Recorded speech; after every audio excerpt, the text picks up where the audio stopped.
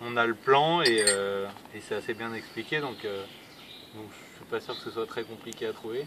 Sauf si on parle pas le français et les plans, je crois, sont écrits en français, donc euh, c'est peut-être un peu plus compliqué, mais en soi, en plus, il y a des applications, je crois, sur Internet, sur les smartphones. Il y a une application euh, Père Lachaise, donc je pense qu'avec les nouvelles technologies et un peu de, bon sens et de, et débrouille, on peut trouver facilement.